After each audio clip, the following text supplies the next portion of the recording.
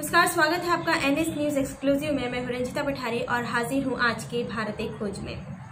सियाचिन जहाँ हमारे देश की रक्षा के लिए हमारे देश के वीर सपूत तैयार होते हैं, वहाँ तैनात रहते हैं। देश की रक्षा के लिए वहाँ तैनात वीर सपूत शहीद हो गए हैं।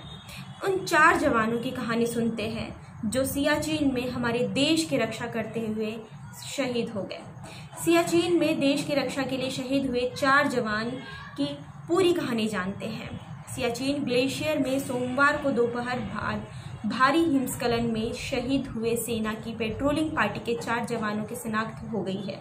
इसमें से तीन जो है वो पंजाब के हैं और एक जो है वो हिमाचल प्रदेश के थे। हिमस्खलन में छह लोगों की मौत हुई थी, जिसमें से दो पोर्टर थे। इसकी चपेट में दो अन्य गंभीर रूप से घायलों का इलाज चल रहा है। सैन्य प्रवक्ता की ओर से मंगलवार की देर शाम शहीदों के नाम जारी किए गए।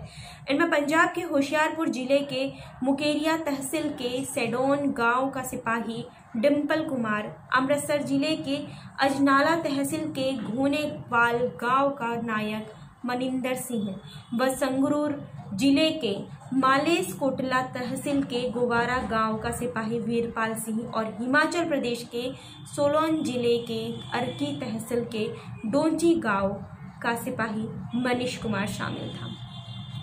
सियाचिन ग्लेशियर में मंगलवार दोपहर दोपहरबादी हिमस्खलन में सेना की पेट्रोलिंग पार्टी के आठ जवान और पोर्टर लापता हो गए।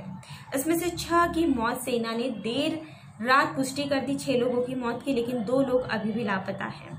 उन्नीस हज़ार फुट की ऊंचाई पर जिस वक्त हिमस्खलन हुआ, जवान उत्तरी ग्लेशियर में थे। पोर्ट्रेट समेत पेट्रोलिंग पार्टी चौकी पर बीमार एक अन्य व्यक्ति को निकालने गई थी, तभी काजीवन और बाना पोस्ट के बीच में हिमस्खलन की चपेट में आ गया। हिमस्खलन के तत्काल बाद सेना की ओर से इलाके में व्यापक पैमाने पर बचाव कार्य चलाया गया था, जिसके बाद छह लोगों के शव मिल गए हैं, लेकिन अभी भी दो लोग लापता हैं। आज का भारत एक खोज में इतना ही था। ऐसे वीडियोस की जानकारी के लिए बने रही है एन एस न्यूज़ एक्सक्लूसिव के साथ। Thank you good night